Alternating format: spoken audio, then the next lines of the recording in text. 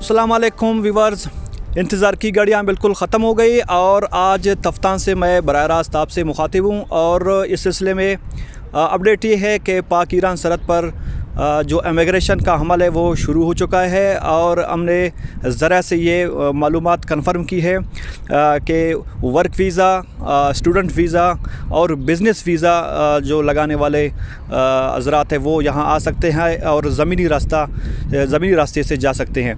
इस सिलसिले में हमने जो मालूम और जो शरात का मालूम किया है, उसका ये है कि यहाँ पर पी सी आर की शर्त ज़रूरी है। जो भी यहाँ पर आएगा, वो वहाँ से अपना पीसीआर करके आए, फिर यहाँ से उसको जाने की इजाज़त दी जाएगी। बग़ैर पीसीआर के किसी को यहाँ पर यहाँ से एग्ज़िट करने की इजाज़त नहीं होगी। और बहुत से आज भी यहाँ पर मुसाफिर जो वर्क वीज़े वाले हैं स्टूडेंट वीज़े वाले हैं, तफ्तान आए हैं। लेकिन यहाँ से उनको वापस कर दिया गया क्योंकि उनके पास पीसीआर की सर्टिफिकेट नहीं थी। लिहाजा आप अपना पी सी आर वहाँ से करके आए, यहाँ से आप एग्ज़िट करते। पीसीआर के हवाले से हमारी यहाँ पर इमिग्रेशन हुकाम से बात हुई है। उनका कहना था कि पीसीआर कम से कम तीन दिन पुरानी होनी चाहिए। यानी आप जब अपना पीसीआर करवाएँगे तो बहत्तर घंटे के अंदर अंदर आपको तफ्तान पहुँचना होगा।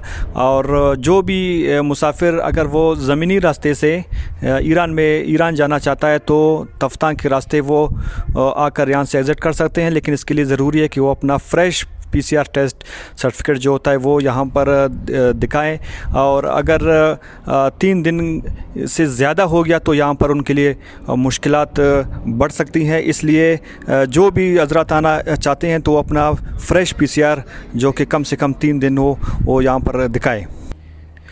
वो काम ये भी कंफर्म कर रहे हैं कि चाहे जिस के साथ कोई कोरोना का टेस्ट जिसमें उन्होंने वैक्सीनेशन कराई है वैक्सीनेशन सर्टिफिकेट हो, तब भी उसके लिए पीसीआर टेस्ट लाजमी होगा कि वो अपने अमरा लाए उसको तो यूवर्स फ़िलहाल ये तीन कैटेगरीज़ के वीज़े यहाँ से यहाँ पर आकर जा सकते हैं ईरान जिसमें स्टूडेंट वीज़ा वर्क वीज़ा और बिज़नेस वीज़ा और ज़ायरिंग के वीज़े का अब तक कोई कन्फर्मेशन सामने नहीं है और टूरिस्ट वीज़ा अभी तक बंद है।